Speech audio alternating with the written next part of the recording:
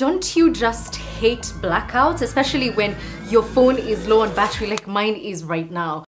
Ah, this is so much better. At least on the equator, you can always rely on the good old sun. But we have some work to do. I've got three tasks that I have to accomplish today, and I hope you're gonna help me along the way. The first thing is figure out if I can generate my own electricity. The second thing is to see if I can build some kind of generator. And last but not least, I need to see if I can charge my phone with the power that I'm able to generate. We're gonna need a few things for this, obviously. I forgot my phone is dead.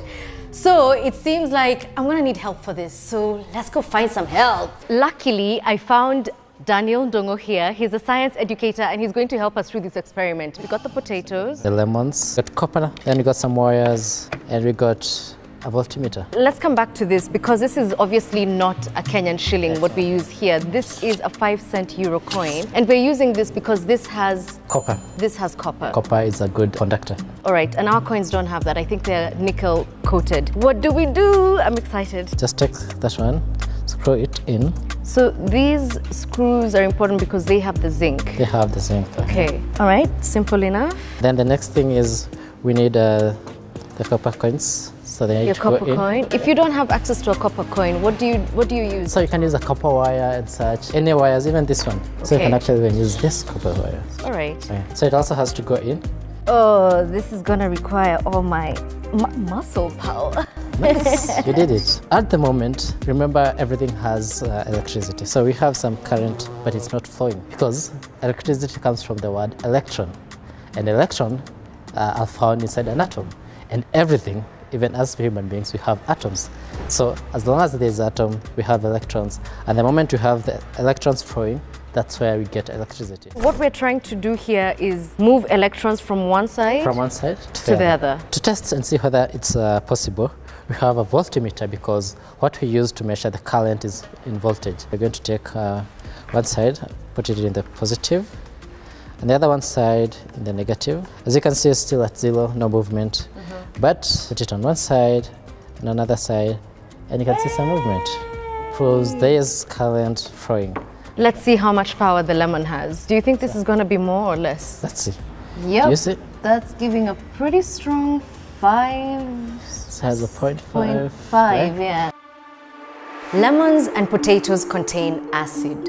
So we get electricity because of a chemical reaction. Zinc from the nail loses electrons and starts to break down. This is the negative pole.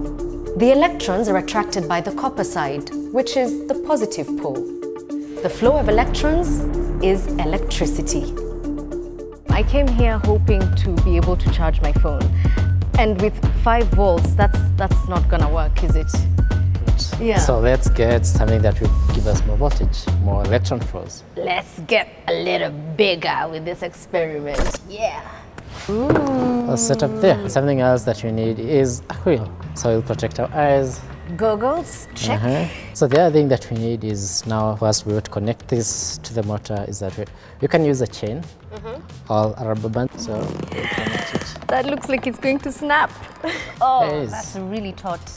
We're still trying to generate electricity, right? So what's fundamentally, in theory, what we're trying to achieve? In this ones, we have a wheel which has energy. And then the moment it starts moving, it becomes mechanical energy. Then we have our motor here, which acts as our generator to turn that mechanical energy to electric energy. So we have our wheel there.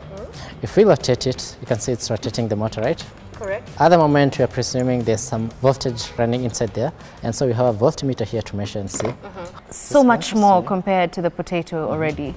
Let's test with the bulb to see. All we need to do is just connect the terminals. Again, let's see. Do you see anything coming? There are the lights. It's Christmas time. Just answer the question. My phone.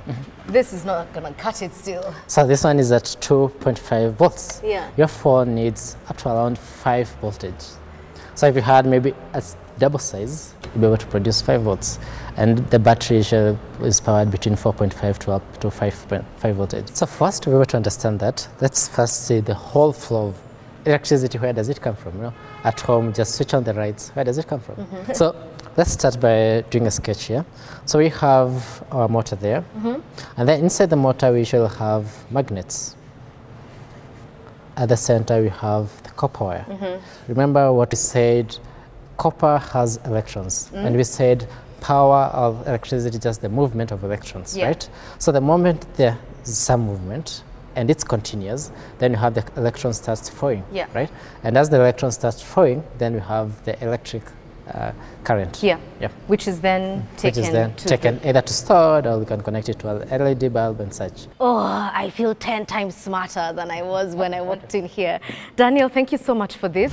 Okay, guys, we're back and it's time to figure out how did we do. Now, of course, we don't have days and hours to keep cranking our little generator, but I think we can all agree that I successfully generated my own electricity. Guys, that was so much fun. You should definitely try that. And was I able to build a small generator? You saw it, I saw it, we did that. So, yes. And was I able to charge my phone? Unfortunately not, because as you saw, we simply weren't able to generate enough power to do so. Maybe with more people turning that thing the whole day, we might be able to. Uh, so, unfortunately, small X on that, but we still had a great time doing this experiment. Let us know what you think, and if you have other things you think we should experiment, we'd love that. So until next time, bye bye.